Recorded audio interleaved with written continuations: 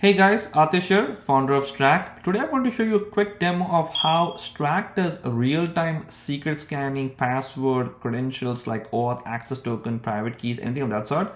Uh, over here on Slack, we the same support is available across any other SaaS app, whether it's Zendesk or Jira or Confluence or any other customer support tool like Intercom.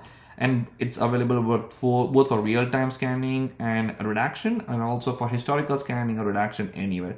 So let's get started. Uh, let's say just type in this password, uh, which does not even have any other context or let's say type in some username or like an email address and password. Again, in real time, we are doing this scanning with our machine learning and OCR models, highly, highly uh, specialized to train this data element on secrets and credentials and how we are doing detection and redaction of this thing. Um, same thing with like AWS secret keys or API keys of everything over here.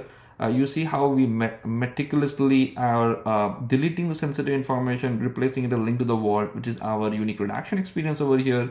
Um, same thing with like OAuth access tokens, like a credential JSON file that are being posted over here. Again, real time, we are scanning for it, detecting for it, and remediating it with real time redaction over here.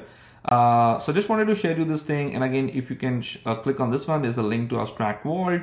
Uh, a lot more features on this thing, very highly customizable. Uh, so just wanted to quickly share with you guys about our uh, new feature on secret scanning around credentials everywhere on all SaaS and cloud apps.